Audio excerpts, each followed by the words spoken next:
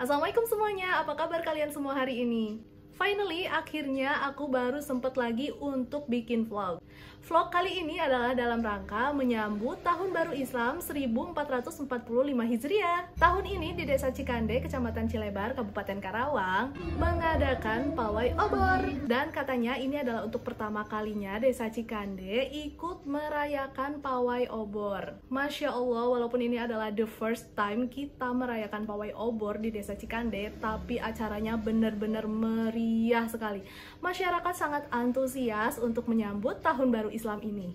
Dan ini juga pertama kalinya aku ajak anak aku untuk ikut pawai obor. Kebetulan salah satu penggerak acaranya adalah mertua aku bersama dengan para ibu-ibu majelis taklim. Masya Allah, ibu-ibu majelis taklim Desa Cikande ini memang luar biasa. Mereka yang berperan penting memberikan energi positif agar acara ini bisa terlaksana dengan baik.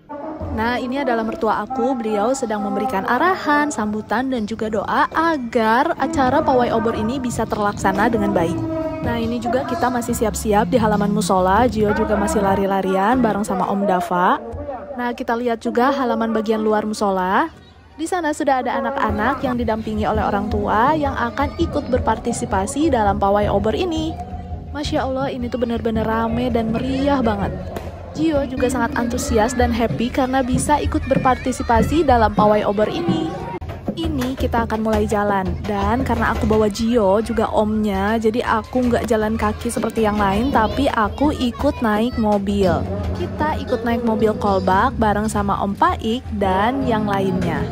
Di mobil kolbaknya ini sudah ada sound systemnya dan kita itu akan bersolawat sepanjang jalan. Tapi sayang banget karena persiapannya amat sangat mendadak jadi sound systemnya itu agak-agak error. Jadi sound systemnya itu mati hidup mati hidup gitu loh.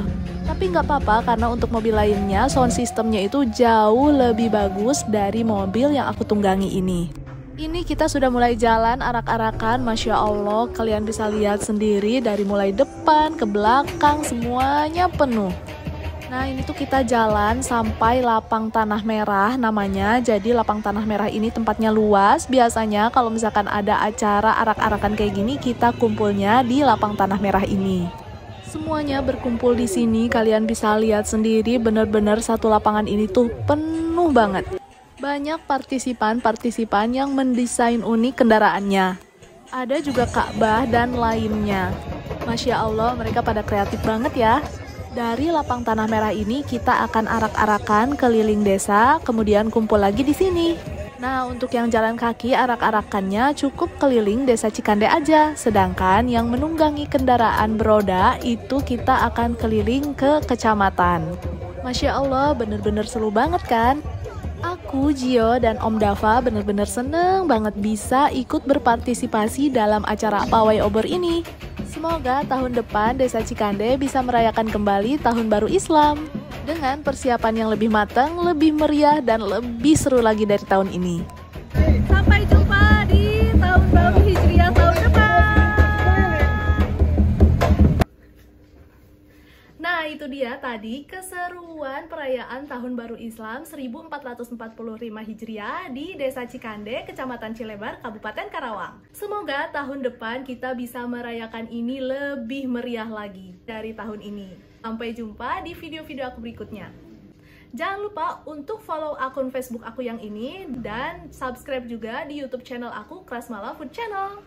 Sampai jumpa di video-video aku berikutnya. Bye bye. Assalamualaikum warahmatullahi wabarakatuh.